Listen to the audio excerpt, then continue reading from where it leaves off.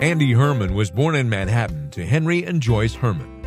As a teenager, Andy and his family moved from New York City north to Westchester, New York.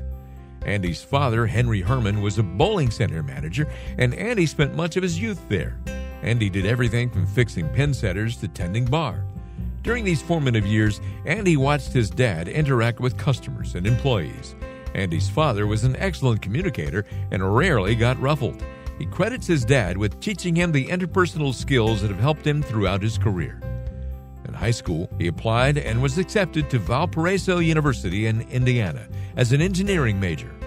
Andy graduated in 1973 and immediately went to work for Hardesty and Hanover, a world class engineering firm. Andy has always had a keen interest in movable bridges, and Hardesty and Hanover has been a perfect fit for him.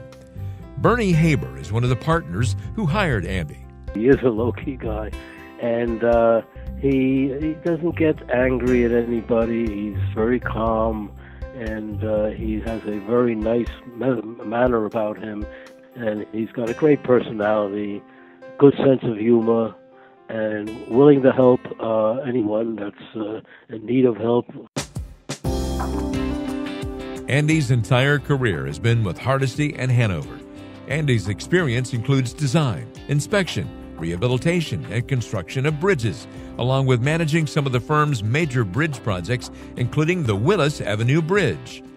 Many of these projects have been movable bridges, a challenging engineering feat and a marvel in many ways. A few years after joining the working world, Andy met his future wife, Linda, at a music concert.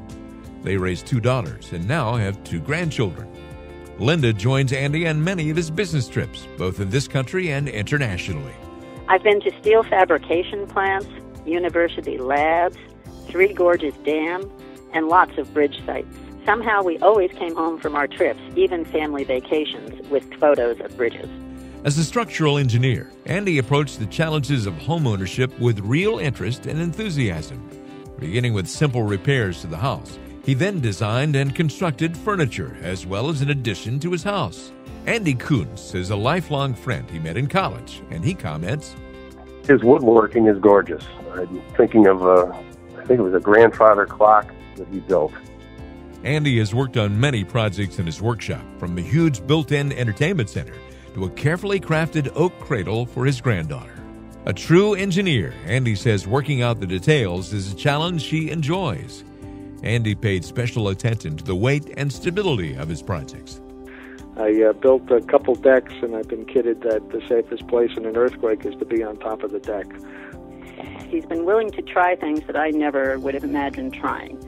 Um, he built an addition onto our second house and had never done anything like that before, had never built anything more complicated than a bookcase. Professionally, Andy is active in ASCE, both regionally and nationally.